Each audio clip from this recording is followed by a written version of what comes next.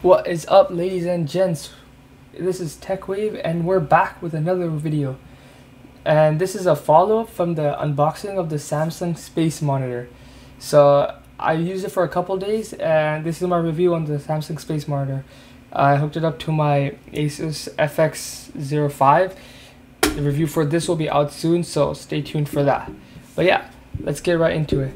So, first off, I'm going to st start off by saying that the monitor is like huge 32 inches it's huge. And the way that i kept it it's not really meant to kept be kept that way. It's more so meant to stay on someone's wall over here so it like has a clean finish. Not something like it's meant it's not really meant for something like this. So anyways let's get into the menu. So you have this analog stick at the back that you can control the menu with. If i press it i see all those options. I get that. I get source power off, and I get menu. So let's click into it. You get brightness, Samsung, uh, we get picture settings, we can tap into, we can do standards, cinema, dynamic contrast, whatever you name it. You have all these settings, HDMI black level, upscale, game mode. We have PIP, PIP mode, on-screen display system, and information. So right now we're running 3840 by 2160, so that's 4K at 60 hertz. This monitor does not go above 60 hertz, so it's not meant for gaming. Trust me, I don't even want to show the gameplay. I've tried to use it for gaming. You just turn this off, just go backwards, and you can't, you really can't use this for gaming. It's more so made for productivity, and it's really good color accuracy. Samsung themselves say that it's rated for about, what they say? It has more than a billion colors and with some testing, the it's sRG it got a rating of 140.8 in sRGB, so it's pretty color accurate. So if you have any color accurate work, you can definitely count on this monitor to do so. This monitor is I feel like it's made for the person who has a minim minimalistic setup. You don't really need any of like extra flashy things. Very minimalistic. You have this stand over here that you can also bring the monitor in. So like if I just pull it in, pull it in like this, I can bring the monitor closer. I can literally bring the monitor closer to me.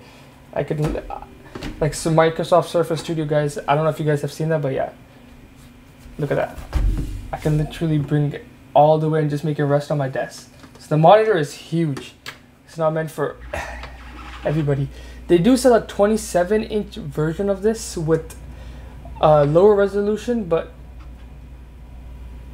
oh, wow, it's kind of hard but it has a 144 hertz refresh rate so that's something to notice about. So yeah let's go on youtube. And let me i wish i could show you guys the difference between this monitor and another monitor because the colors on this are really interesting. So let's go and search up any 4k footage 4k video. I don't know if the camera will do justice but hopefully. Hold in 4k let's try this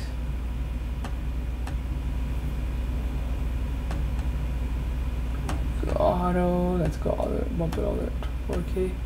You guys, I don't know if you guys can see those colors, but those colors are amazing. I've the exact same video I've seen on my other monitors, and there's a huge difference. This one by far just kicks everything else out, and I guess that's kind of expected because Samsung is the uh, one of the biggest leaders uh, manufacturers of TVs so they have the experience with te- the technology with OLED panels 4K HDR etc so you kind of expect them to make a great monitor as well. So yeah. There's not much to say about this monitor. It's pretty minimalistic although the ports on this are kind of limited you only get an HDMI port a display port and that's about it I wish they had at least two of either HDMI or display. The included wire that they give you is an HDMI port, is an HDMI cable. Uh, pretty uh, thin bezels too makes it look really like it really immerses you inside. And I don't really have anything else to say about this monitor. It's just a good monitor overall, and I guess in the United States it costs around 499 for it's over here it's a little bit more expensive I think along with taxes, I paid around 600 something dollars with it. So yeah, the box that it comes in is huge though. So guys, the box that I came with was literally went like, I don't know, it was like a good six foot, close to six foot long box. But yeah, this is my review of the Samsung Space Monitor 32 inch 4K 60 hertz version. I also forgot to mention it has a 4 milliseconds response time. So yeah, again, not for gaming, just for productivity and uh, color accurate work. If you if you are into photography or videography or something, and you want to be as accurate as possible, this is one of the, the best monitors you can get out there. But yeah, hope you guys like this video. Comment down your thoughts below on what you what do you guys think of this monitor. Did Samsung get it right or not? This is also my first review of our 4K monitor, but there's gonna be more to come, so stay tuned for that. Oh wow, look at look at those colors. They look so vibrant and so much more realistic than what you actually see there. But yeah, like and subscribe if you guys enjoyed this video, and I'll see you guys later. Peace.